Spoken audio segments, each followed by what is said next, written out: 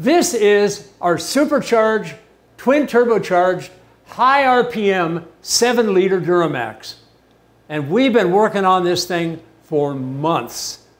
Today, it's time for a first fire.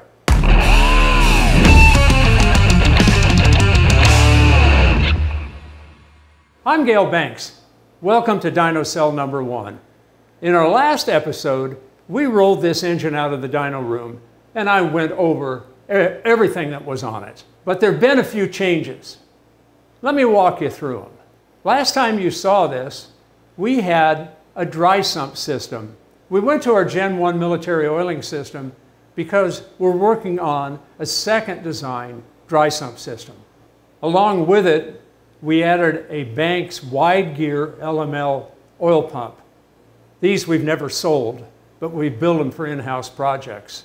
So we need a bit more oil flow capacity than a normal pump would give us because we've enlarged the piston cooling nozzles and that takes a lot more oil flow.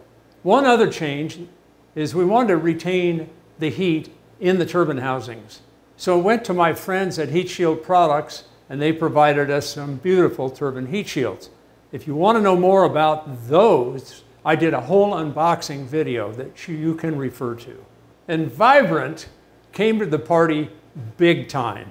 It was like they were raining stainless steel on us and quality hose and V-band clamps, their HD clamps, their stainless steel mandrel bends, their 321 stainless expansion bellows, all the plumbing pieces you could ever wish for. If you want to know more about the beautifully executed quality stuff made by a Vibrant, I did a whole unboxing video on that as well. Originally, the high pressure injection pumps were a pair of stock CP3s.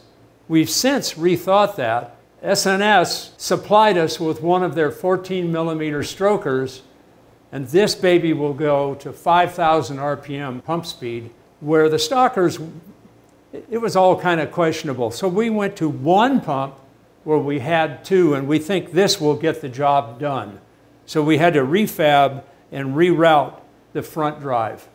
We also found that we couldn't hit the low pressure, 15 psi we were looking for with the fuel system we had here in the cell. So we went to Aeromotive and we got one of their really keen new series brushless pumps. This one being a five gallon per minute they make a range of capacities. And one of their insanely cool regulators, which allows us to hit the 15 psi lift pump pressure into this S&S pump, right on the money.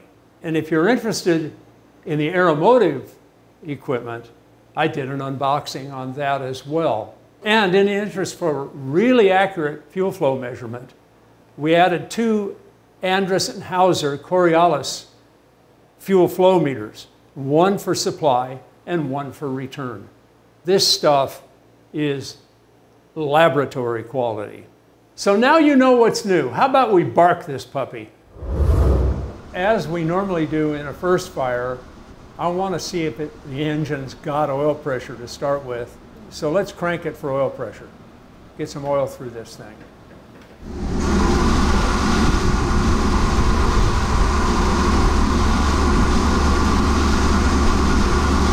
All right.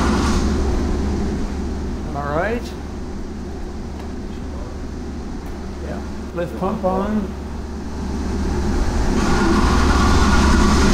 There it goes. it's alive. All right, what's the oil pressure looking like now? It's like about uh, 41 psi.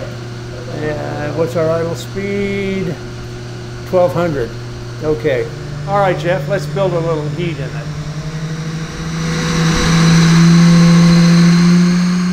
So the temperature's coming up. The cooling tower is not online yet. Cylinder pressure at this light load is about 96 bar. Looking pretty good. So we're at 1850 RPM. We're making about 45 horsepower and we're just building heat in this pup. As soon as the cooling tower comes online, we should be ready to run. We'll give her a little more load. Otherwise, I, I, it'll be tomorrow morning and I'll have to shave. and there it goes. All right. All right. Now we're looking pretty good all around. So what we're going to do here is we're going to run 3,800 RPM. Just kind of ease into it. We don't know anything about what the air density output will be from the turbochargers, what the air density output will be from the blower, how well the air density will, will be improved. We've got two intercoolers. We don't know how well that air density improvement will work. So we're going to be soft. We're going to go to about 25 to 1 air fuel ratio at 3,800 RPM. And then we're going to read the data. I can't wait for the data. I mean, this is a whole new beast. Okay, here we come.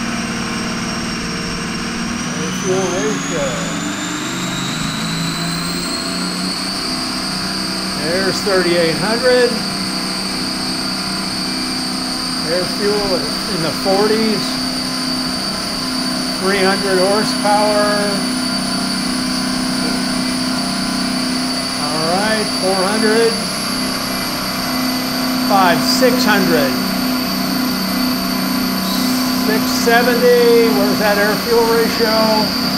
All right, that does it, let's pull it out. Okay, we're looking good.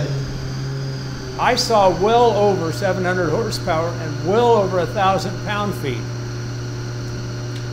I think it's time to start tuning with that Motec M142 ECM. What do you think? Yeah. This is going to be fun. Thank you, Jeff. Well done. It's the first run of our supercharged twin turbo 7 liter Duramax. There's way more to come.